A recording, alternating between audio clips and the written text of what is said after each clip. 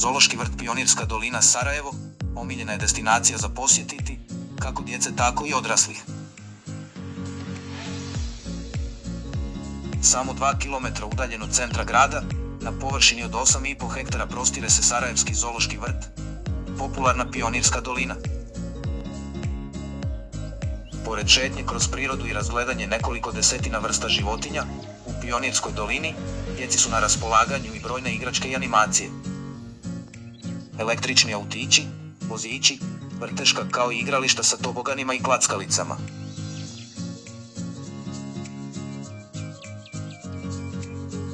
Sarajevski zoološki vrt počeo je djelovati 70. godina 20. stoljeća.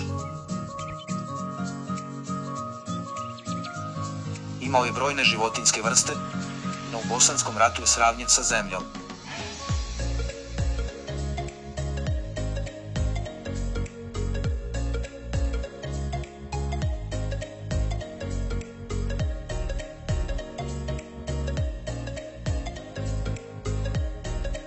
Prvom desetljeću 21. stoljeća zoovrt se počinje obnavljati, te danas ima majmunarnik, pitona i mrkog medvjeda.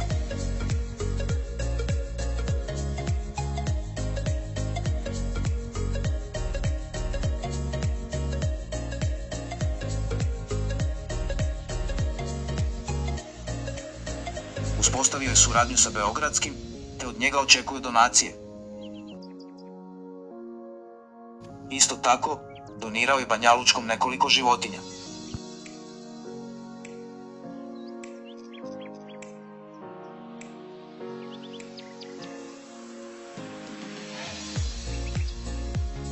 Trenutno zoološki vrt posjeduje 59 životinskih vrsta iz različitih dijelova svijeta.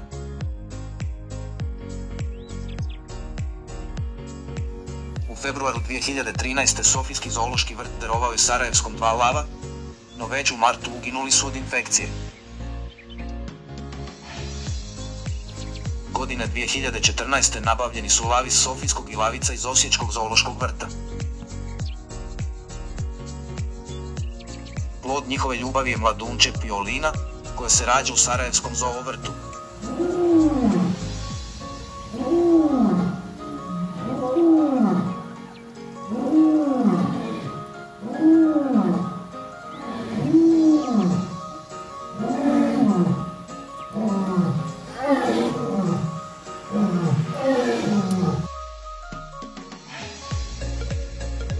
2015. radi velikih troškova hranjenja životinja i održavanja nastambi te radi oslobađanja prostora za druge. Čelništvo zoološkog vrta odlučilo je dati na prodaju određene životinje, što nije uobičajeno. Na prodaj su se našla tri labuda, četiri ljame, dva poni konja, škotsko govedo i 14 jelena lopatara.